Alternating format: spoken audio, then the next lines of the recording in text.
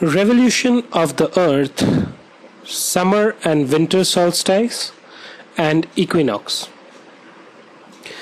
Now i told you in the video where i explain what are the type of motions of earth that revolution of earth is what? It is the movement of the earth. So in this particular video if you notice this is basically earth. The white one the line going across is the axis of the earth right? The movement of the earth around the sun is what is known as revolution. So it starts from this direction it goes up to here it then moves from here to here it then moves from here to here it then moves from here to here. Sun is here. The rays of the sun goes in all the direction. These yellow ones are the ones which are representing the rays of the sun right So what happens is that the position of the earth on different dates is different. Right? So what I have done in here is that on June 21 I have taken this position, September here, December here, March to 31 here. This one complete revolution by the earth is actually done in a period of 365 days and 6 hours right? Now we tend to ignore this 6 hours and we consider this 365 days and therefore we say that one year has 365 days, right? And then this one year is based on basically the period taken by earth to revolve around the sun. And every year we keep on adding these 6 hours, 6 hours so 6 hours in year 1, 6 hours in year 2, 6 hours in year 3, 6 hours in year 4. How much do we get? We get 24 hours. Do you know what a leap year is? I'm sure you must be. So in a leap year what we have is that instead of 365 days we have 365 plus 1 is equal to 366 days.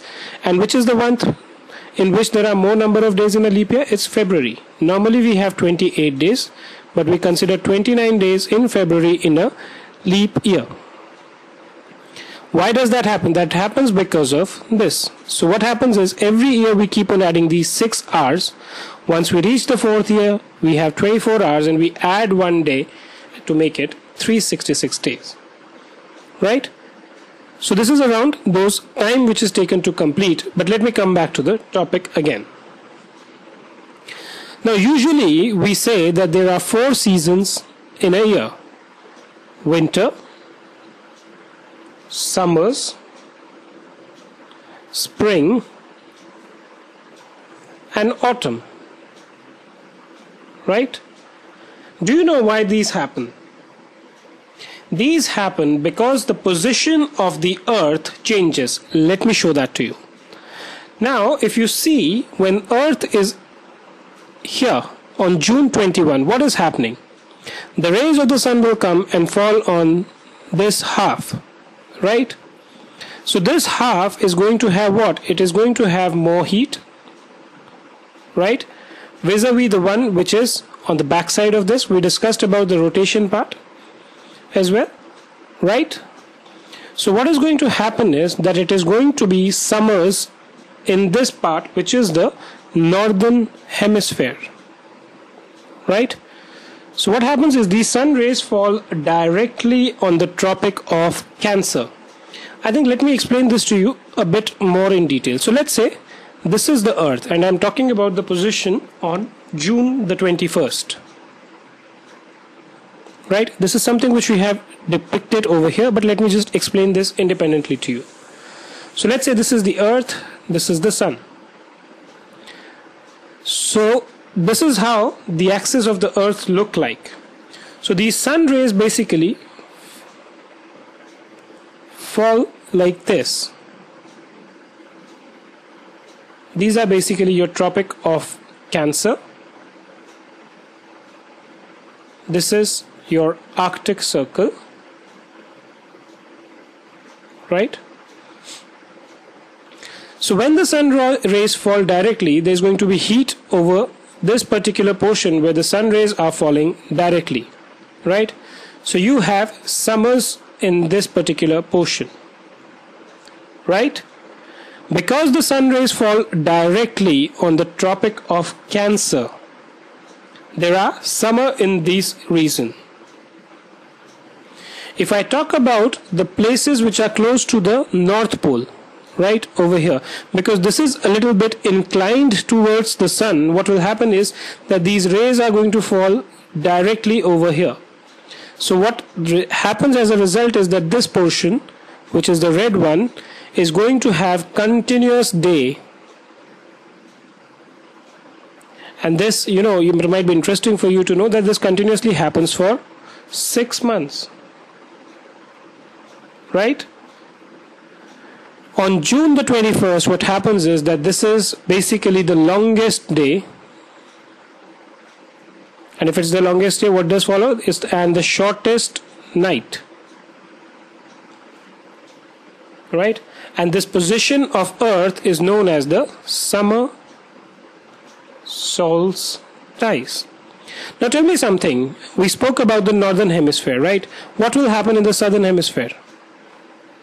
Okay when I say southern hemisphere I'm talking about this portion. The conditions are obviously going to be opposite. And why would that be? This portion will not be receiving any light no light from the sun rays right? So therefore it will be winters in these places right? The nights are going to be longer nights right Okay, now come back to the main thing.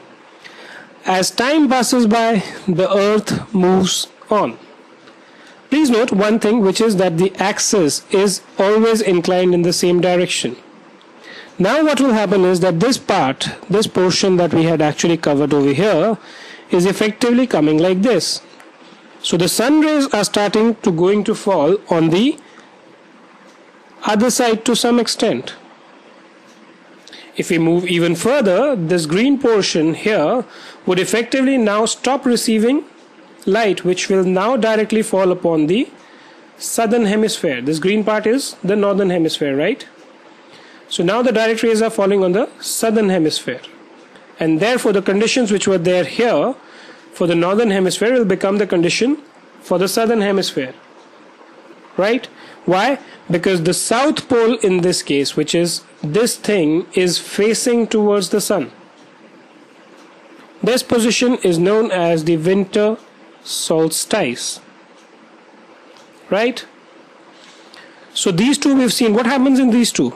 In these two situations, what is going to happen is that the sun rays that we are talking about basically fall directly